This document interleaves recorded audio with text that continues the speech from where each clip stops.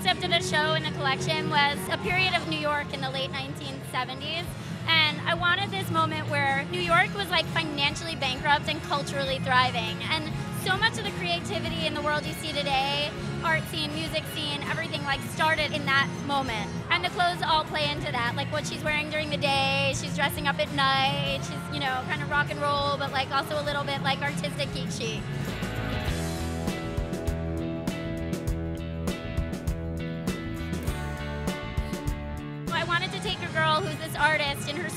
Down in Soho painting and then walk you through her life. So you see her like on the subway, in a record shop, in the bar. And that was kind of how we came up with the concept of the show.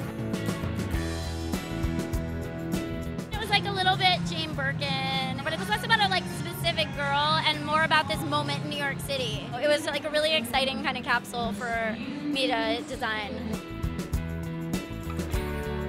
really started to grow our handbag and shoe lines this season. So you'll see we did these really cool doctor bags.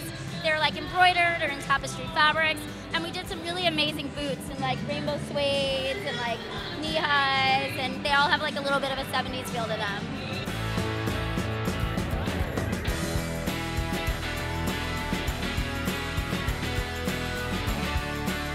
I love Alice and Olivia. I love the brand. I love Stacey.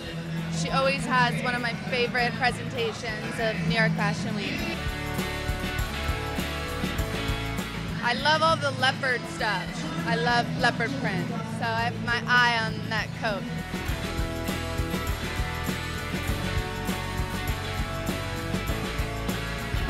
Every single look in this room, I love and want to buy right now. Not only that, I want the soundtrack, I want the space, and I want this decade to come back. It's so decadent and happy and rich and fun, and she just knows how to make you smile.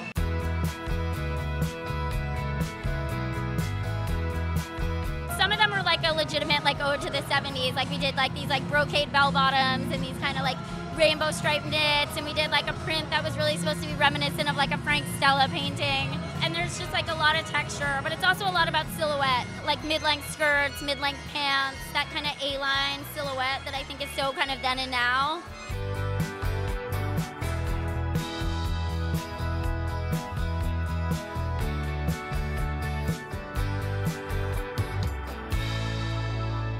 Love it because I wear it every season. Every season, my closet is full of her dresses, her coats, her skirts. It's just so easy and wearable and fun. You feel very feminine and girly. I thought it was fun. Her presentations are always so fun. The production is so cool. I love wearing her clothes too. They're just like really fun party clothes. I mean, as a designer, you always want to keep it modern. You always want to keep it fresh. I think, like, as your company grows, you also have to like keep in mind what your customer needs all the time, what she wants that's new. So, you know, that stuff's kind of complicated, but I don't know. I mean, it's just staying inspired, you know. But I'm usually pretty good at that. So. I mean, to me, the and Olivia woman is every woman. You know, she's Michelle Obama. She's Michelle Obama's daughter. You know, I like to think that we dress this mother and daughter for all aspects of her life. And it's really just about femininity.